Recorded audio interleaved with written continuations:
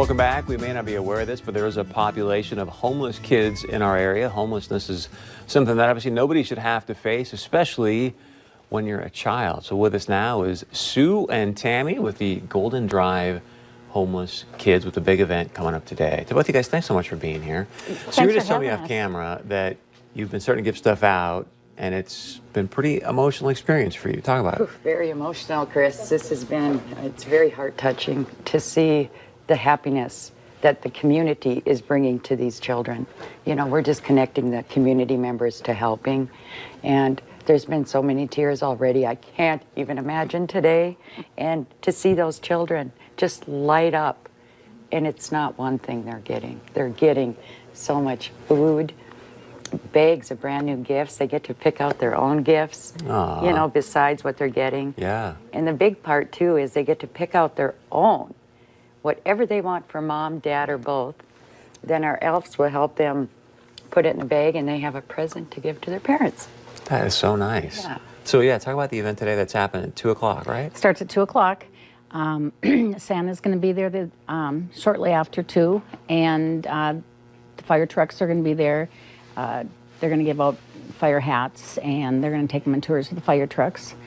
And um, yeah, so it's, yeah, it's. It's a beautiful. So- I'm kind many- of just, I mean, this is such a fun event. I just. How many kids? Is it open to the public or what? It sure is. The public, we, uh, we encourage you to bring some non-perishable food items, a winter coat if you have one laying around, a hygiene product. Every child that comes in will be going on the fire trucks. Uh, we have meet and greet, you know, we have Santa there. We have the free book area, a couch just completely packed with stuffed animals, you know, for the kids. But it's a real good way for the community to connect also because our goal is to keep the conversation top front and center where it should be and the homeless kids we in fargo north dakota we are the solution we can do it right here we just need some affordable housing and these children chris there's not even words to say the feeling that these kids get. You know, housed or not, our children are our greatest asset. They are our greatest asset, our most vulnerable.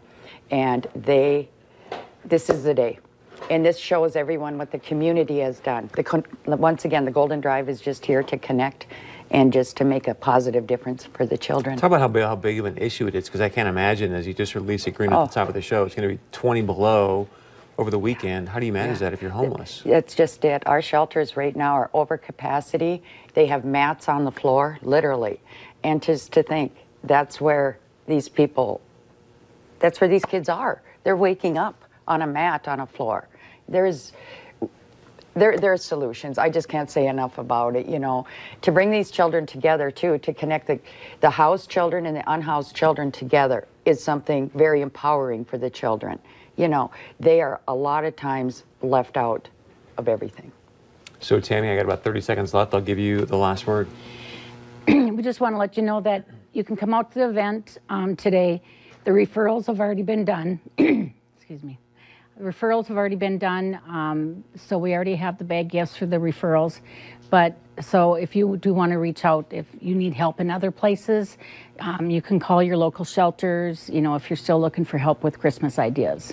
And again, 2 o'clock today, West Fargo. West Fargo Central Fire Department, 106 First, First Street in West Fargo. And uh, we encourage you to come out and uh, show your support for these children in our community that need us all. Thanks for all you guys are doing. Thank you, appreciate it. Chris. Merry Thank you. Christmas. Merry Love the hats. Christmas. All right, stick around. We got much more coming up right after this.